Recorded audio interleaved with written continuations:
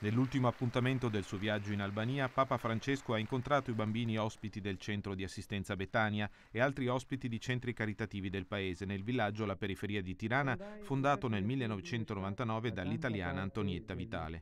Nella chiesa di Betania, dopo aver ascoltato la testimonianza di un giovane cresciuto nel centro, il Papa ha ricordato che il bene paga infinitamente di più del denaro, che invece delude, perché siamo stati creati per accogliere l'amore di Dio e donarlo a nostra volta, e non per misurare misurare ogni cosa sulla base del denaro o del potere.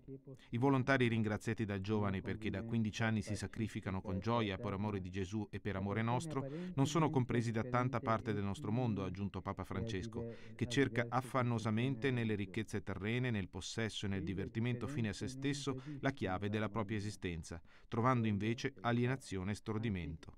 Il segreto di un'esistenza riuscita, ha concluso il Papa prima di incontrare e abbracciare nel piazzale della Chiesa centinaia di bambini e disabili è invece amare e donarsi per amore. Allora si trova la forza di sacrificarsi con gioia e non fanno più paura scelte definitive di vita, ma appaiono nella loro vera luce come un modo per realizzare pienamente la propria libertà. Dopo un breve colloquio con il primo ministro albanese nell'aeroporto Madre Teresa di Tirana, il Papa ha salutato autorità e vescovi albanesi ed è salito sull'aereo che lo ha riportato a Roma.